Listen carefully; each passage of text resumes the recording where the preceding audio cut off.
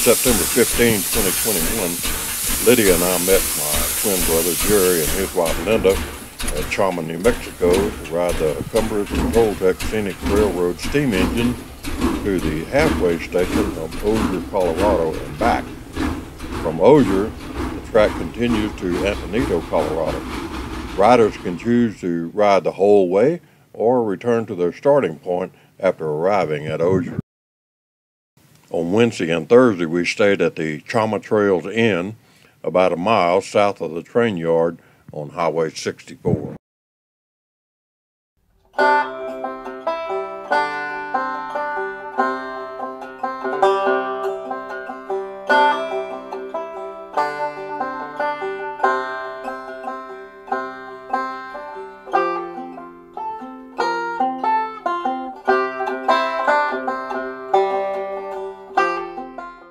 Wednesday morning, we got our train tickets at the will call in the gift shop. Then we walked around viewing the train yard and all the rolling stock. In 1973, the Cumbres and Toltec Scenic Railroad was listed on the National Register of Historic Places.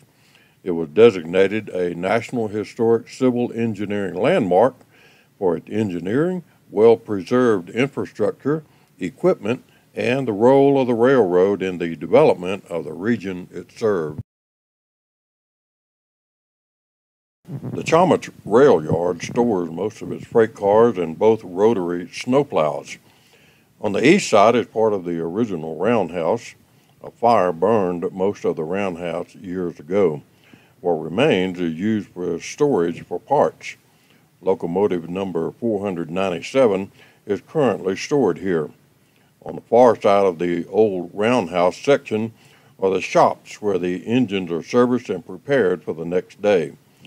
The shops have two stalls and can hold up to two engines inside simultaneously. On the west side of the yard is the original depot from the late 1800s. On the south end of the yard, over 100 freight cars are visible. The yard is open and can be toured by anyone. About 40 of the cars in the yard are operational. Our steam engine was number 484, built in 1925 by Baldwin Locomotive Works in Pennsylvania. Its initial service was with the Denver and Rio Grande Western Railroad. It is one of 10 built with a wheel arrangement of 282, which means two leading wheels on one axle, eight driving wheels on four axles, and two trailing wheels on one axle.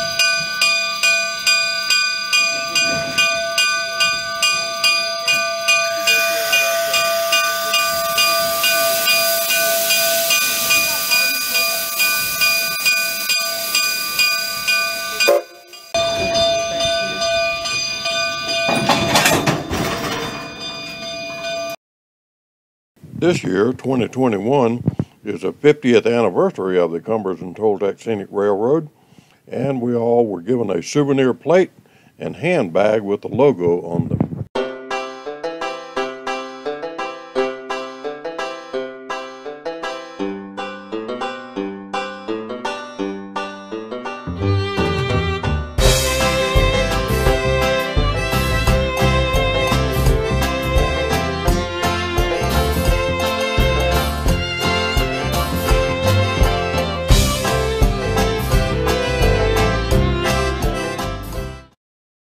The Cumbres and Toltec Scenic Railroad is a three foot narrow gauge heritage railroad that operates on 64 miles of track between Antonito, Colorado and Chama, New Mexico. Today, the Cumbres and Toltec Scenic Railroad is one of only two remaining parts of the former Denver and Rio Grande Western narrow gauge network, the other being the Durango and Silverton narrow gauge railroad. The railroad has a total of 10 narrow gauge steam locomotives and two narrow gauge diesel locomotives on its current roster. The railroad also operates two smaller former Denver Rio Grande Western steam locomotives for special events.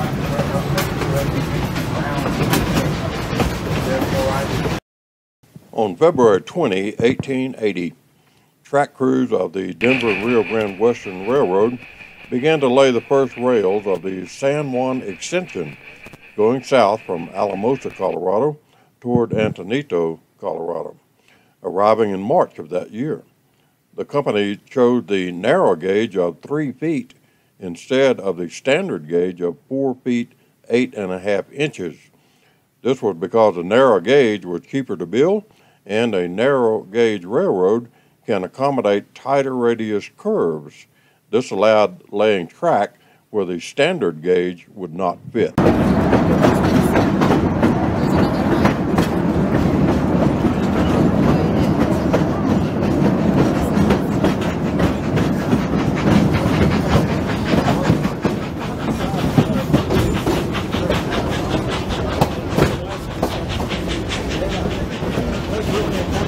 From Antonito, the line continued west to Chama, New Mexico, arriving there on December 31, 1880.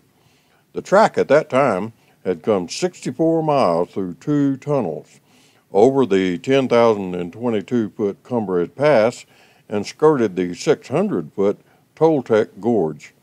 The line then went on toward Durango, Colorado. The purpose of this extension was to tap into the mineral resources around Silverton, Colorado.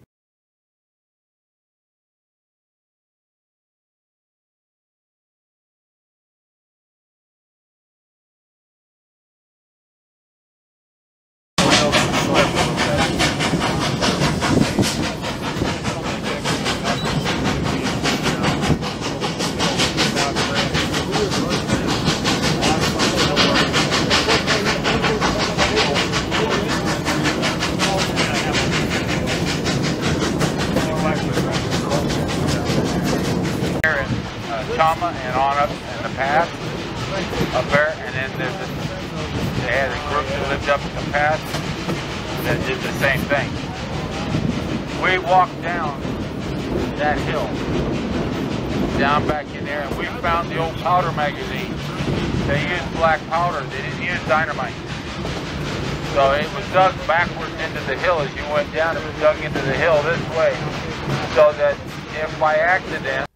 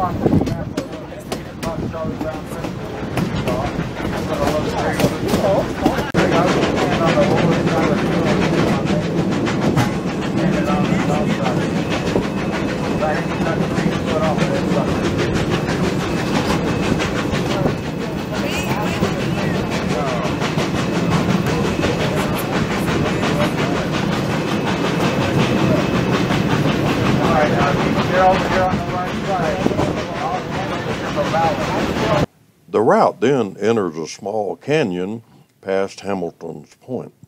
Exiting the canyon, the track makes a turn to the northwest and up Wolf Creek through Coxo, where there is a short siding for maintenance equipment and a station sign. At a narrow point in the valley, the track makes a 14 turn the Windy Point. Windy Point is an outcrop of volcanic rock where the wind blows so hard that the smoke of the train often will blow towards the front of the train the rear. This is less than a quarter of a mile from Cumberland Pass, highest point on the line. In September 1968, the Denver and Rio Grande Western Railroad filed for abandonment of its narrow gauge lines. In April 1969, legislation was signed in New Mexico that provided a way for the state of New Mexico to buy the track between Chama and Antonito. In 1970, Colorado passed similar legislation.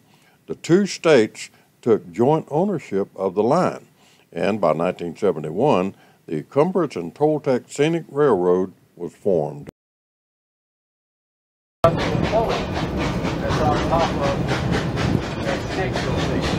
So as the water rises in the cistern, it drops the needle down. The lower the needle is on that stick, the more water is in tank. It works out good. Rather than make it rise.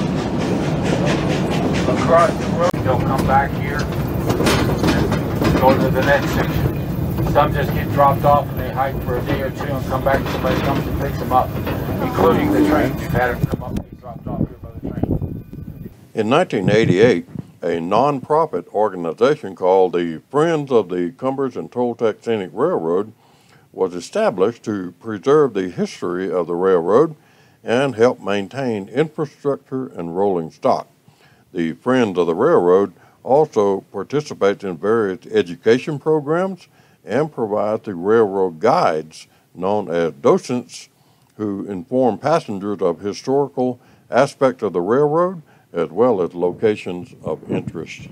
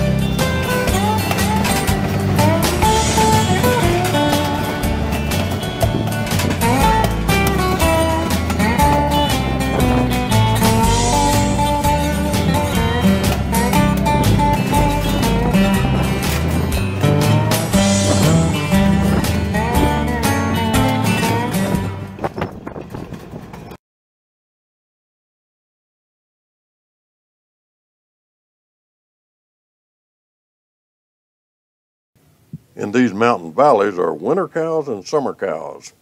Though already in the middle of September, all these are summer cows. Some are black, some are brown, some are standing up, some are laying down. That's how you know these are all summer cows.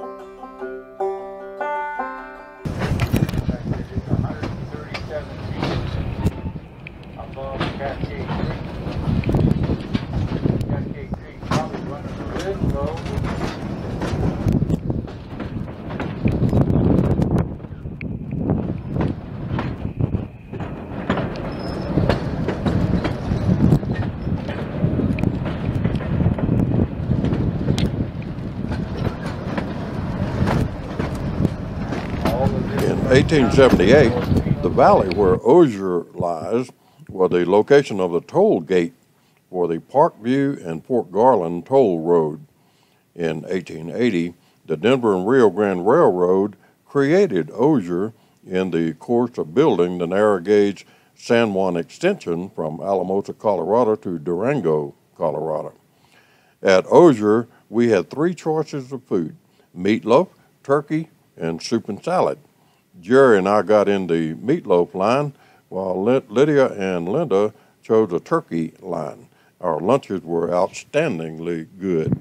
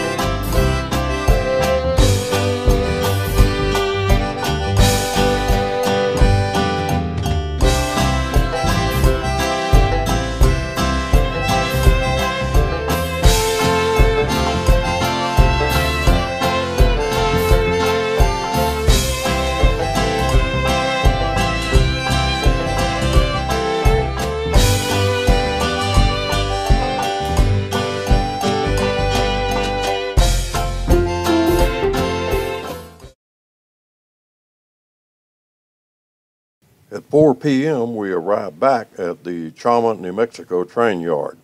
It was the end of the ride and the beginning of many pleasant memories.